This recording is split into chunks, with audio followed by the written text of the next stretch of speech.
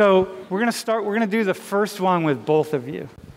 And here's what I want to say about this class don't come in here expecting to learn, come in here expecting to think.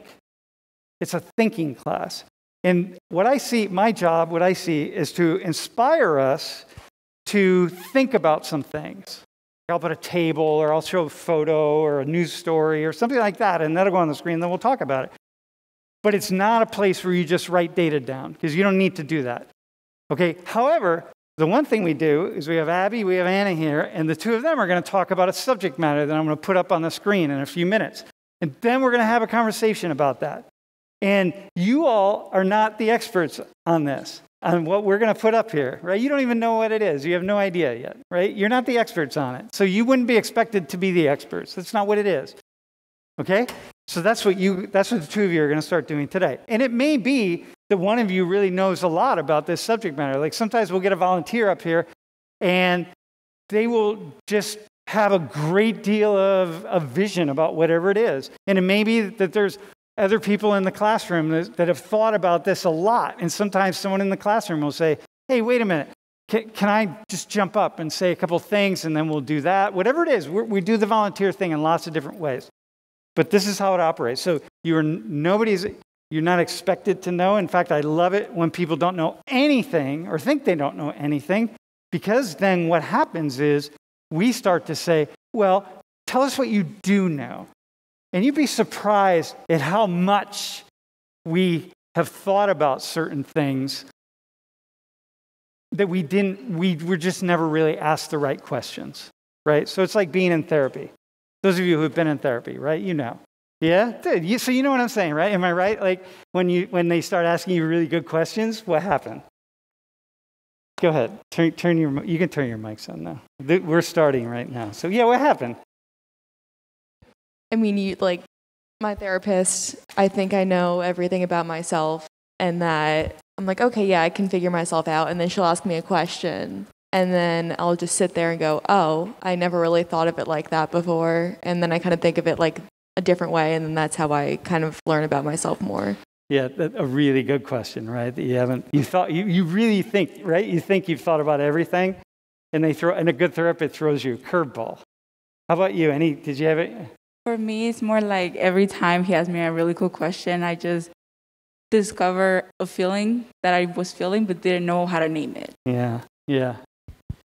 And so this is like me. That, that was my experience as well. I felt like I came, I became a human being through therapy for myself. Well, first off, I found God through mushrooms. And then after the mushrooms, I became a human being through therapy, right? But this is like teaching for me. The reason I still teach and the reason every single Social 119 class is different every single semester. This year, there will be 60 different Social 119 classes. And the reason for that is because I, I get bored with the same stuff. I want to learn some new things. So, all right, go ahead. Next slide, my friend. Critical race theory. Tell us what you see. And now, notice I'm not saying what you know, because know implies knowledge, Knowing implies correct thinking. Knowing implies truth. Knowing implies right and wrong. Knowing implies all sorts of things. What, what do you see? Critical race theory. Tell us about it. Who wants to go? Abby. And remember, hold the mic close. So, I don't know much about this, the critical race theory. I've heard of it before. I just don't know that much about it. But from what it looks like with the picture, it looks like it's how about how um, all the different races kind of get along and how they can like function together how different racial groups get along, how they function together. Okay. By the way, the photo is just a random photo that I chose. So, okay. Oh. But that's okay. That's all right. No, no, no. This is good though. Go for it.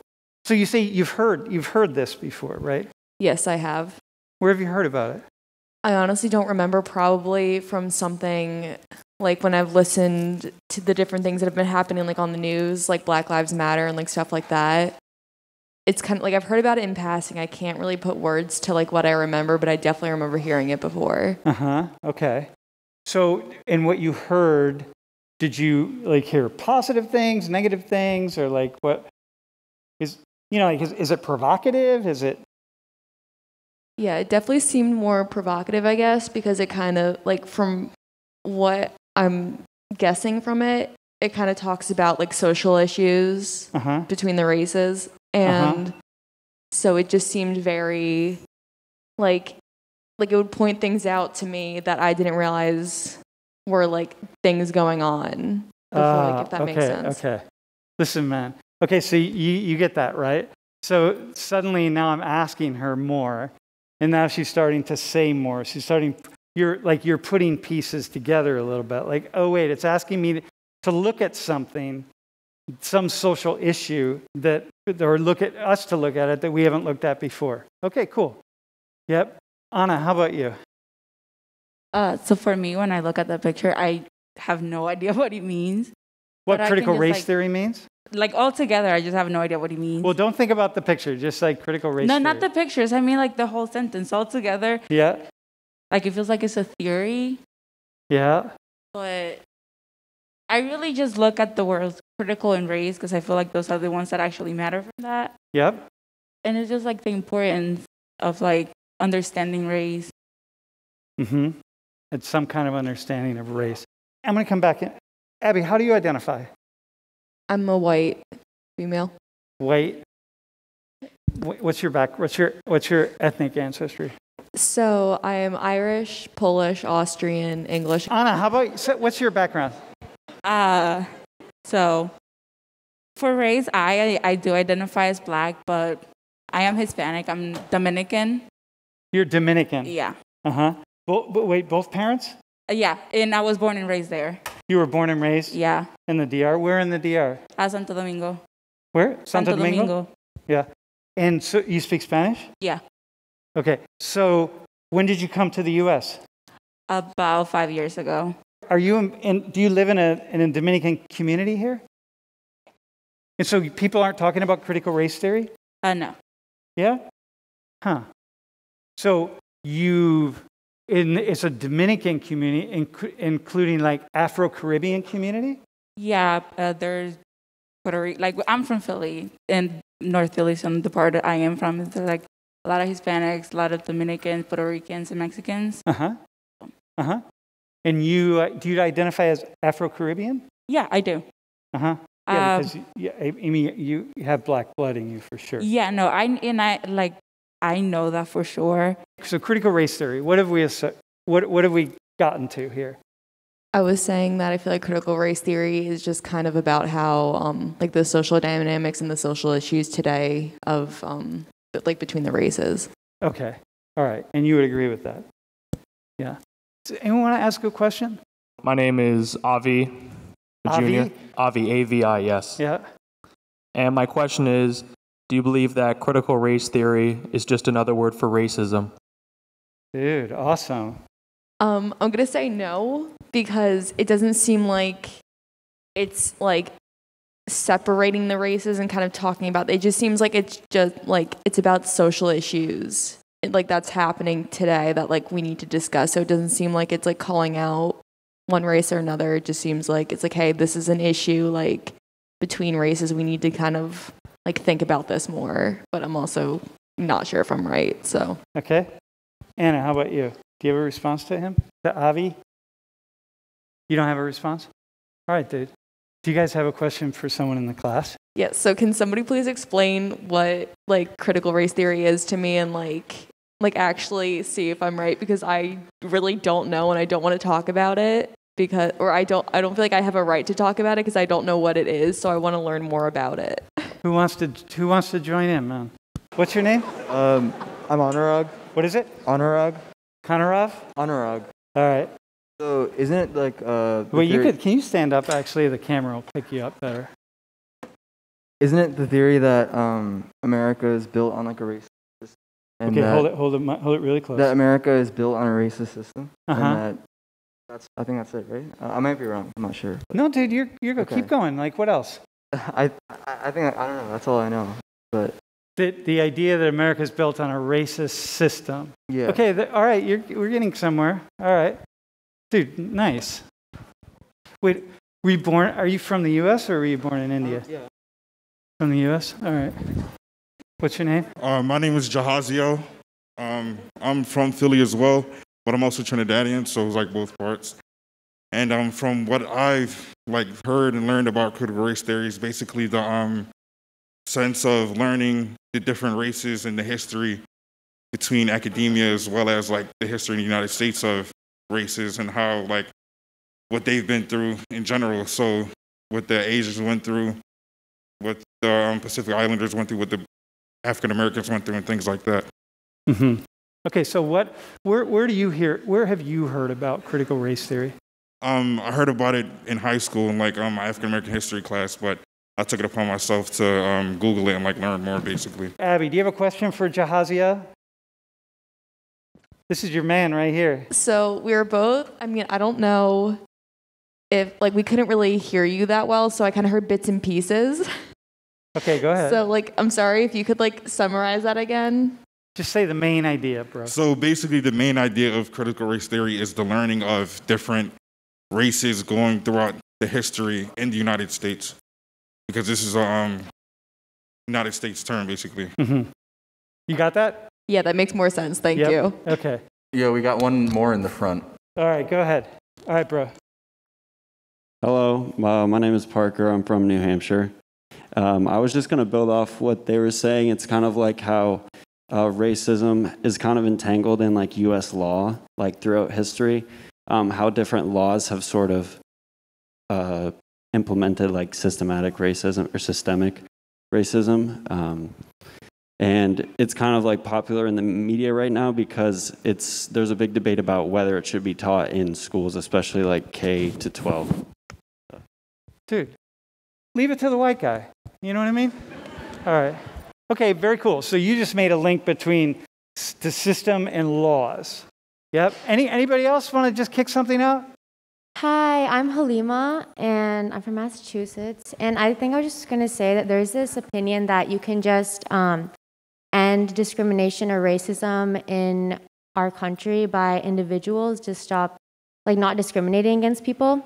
But I think the critical race theory goes a little deeper than that and it looks into different things that happened hundreds of years ago, like in politics.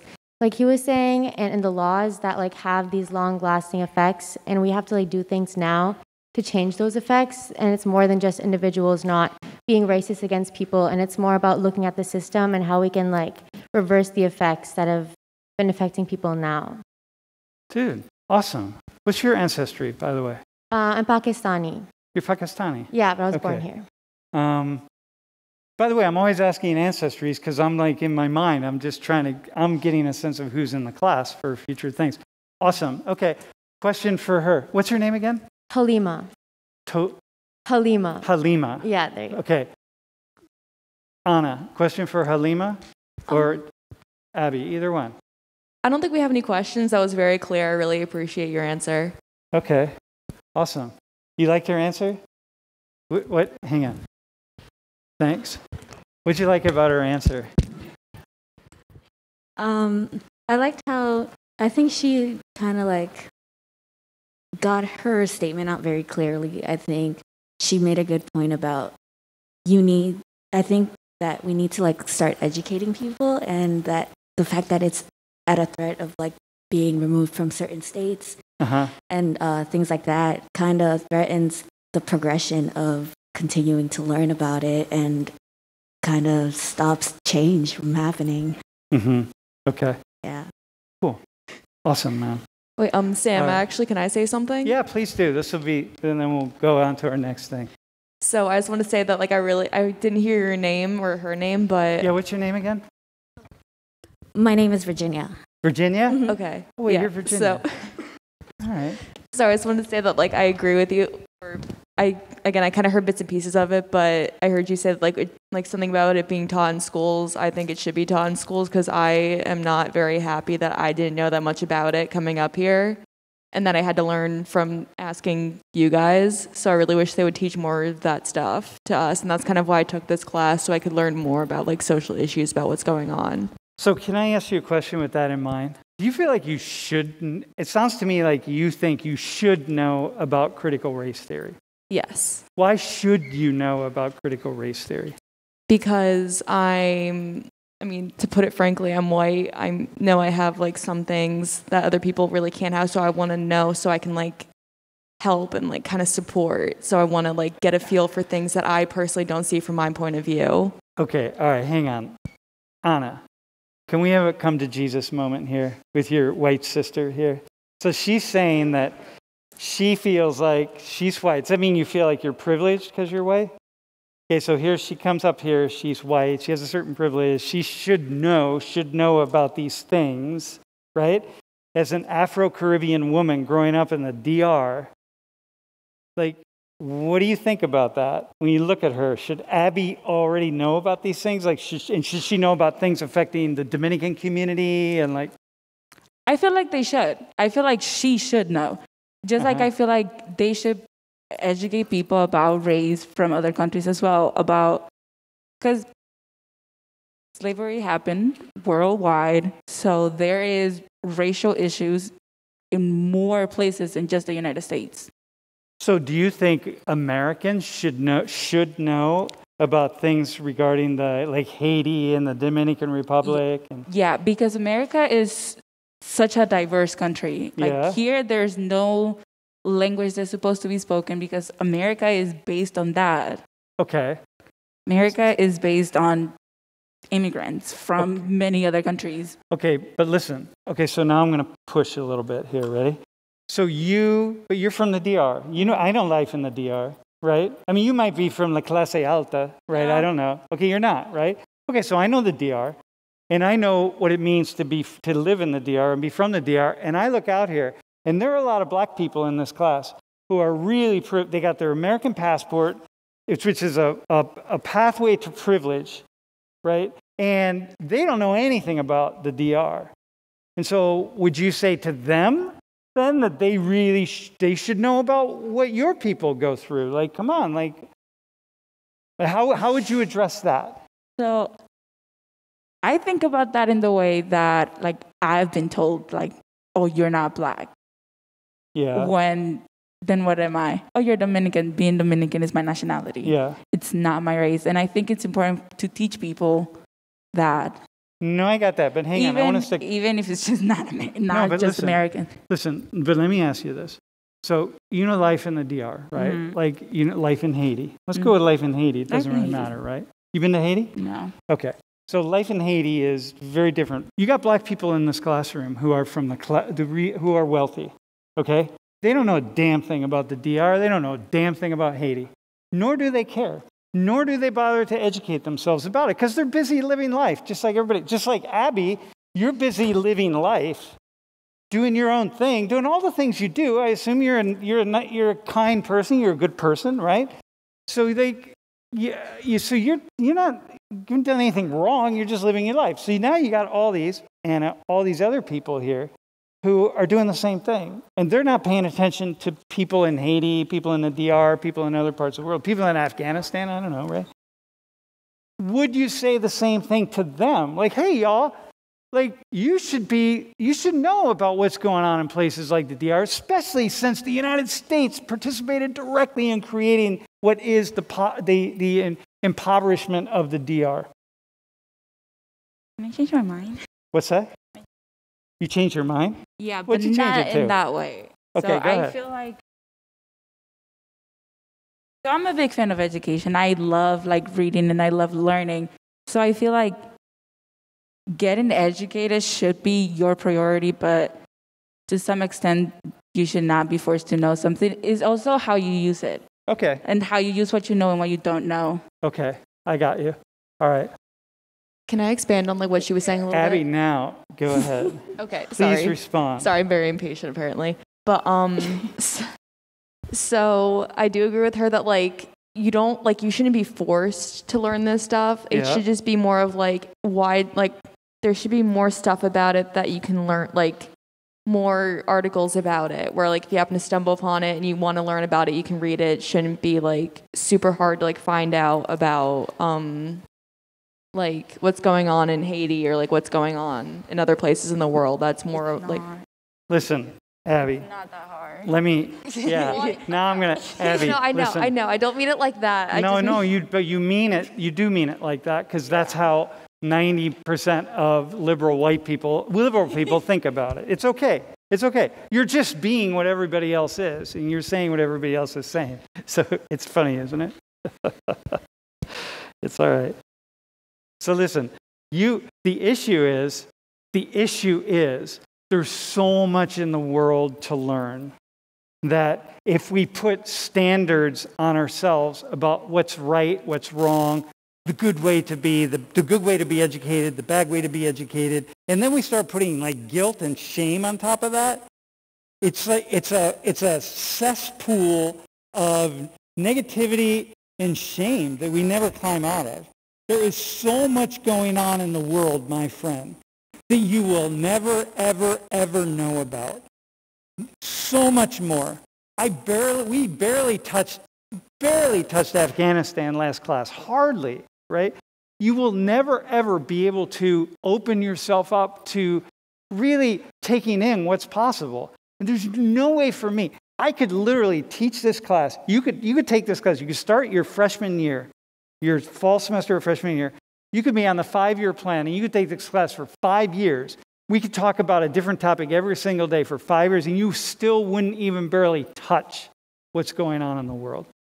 So when I hear you say should and like, you know, and and then we put the shame onto it, it's really I That's why I would say like education is to those who want it. Like growing up, it's like the one thing that every parent in the is like, you should get educated, you need to get educated. Yeah. And they judge you when you don't. Not everybody's like made for college. Not everybody's made to be like yeah. doing research. Not everybody wants to do those things. Okay, awesome. Yeah, awesome. And not everybody can, right? Not everybody can, right? So this is the nature of it. It's a, it's a, it's a slow process. And not everybody should. The two of you were in therapy, right? When you were in therapy thinking about what's going on in your life, you're not thinking about what's happening in the other side of the world. You're thinking about you. And that's okay. Like, that's good. And so, basically, what I'm saying here to my message to the class, y'all, is like, this class, there are no, there are no shoulds in here. Anybody that wants to point a finger, like you, you can point a finger like, you should this, and you should think that, and you should do this. There's three fingers coming back at you. No matter what you can say that's a problem, I will, t- I will guarantee that I can top it with a problem that's infinitely more tragic than the one you're pointing to and that you know nothing about. So that's what the, this, that's what this class is. We're rocking. You guys are great, by the way. This is an awesome. I didn't expect to have this conversation. This is a very cool conversation. Yeah. You feel good? Uh, you, you feel like. Did, did you? What'd you get from what we just said? Um, I feel like I definitely learned a lot. Like, I don't even like I can't I can't think right now for some reason, but I definitely feel like I learned more, and I definitely know I should be doing more research on the stuff that's like happening around the world because I personally maybe if you choose to. Yeah, I'm saying me because I want you. to. Okay, yeah, you want. To. I don't mean like good. everybody. I just mean I want to. Yep. And it's not the system because you got a phone. You can spend yeah. all as much time as you want. Okay, that's cool. And you feel like good. Like if this video goes out into the world and like a year from now you could look at it and be like, oh, that's pretty cool. That's what I was thinking back then. Yeah, I think so. Yeah. No, definitely. I think you're awesome. Yeah, I've been doing this for a long time. It's awesome. Anna, how about you? That's what I love about therapy. What's that? That's what I love about therapy. Like after a certain time, you go back to like the, to think about the way you used to think when you first started, and it's yeah. just amazing the growth. All right, man. Thank you. Thank you.